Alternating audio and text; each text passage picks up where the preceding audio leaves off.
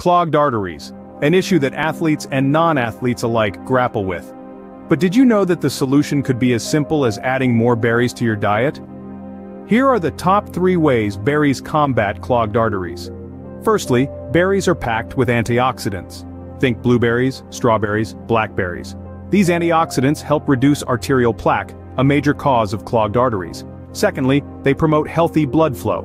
Berries are rich in flavonoids that improve blood vessel function, keeping your arteries clear and your heart healthy.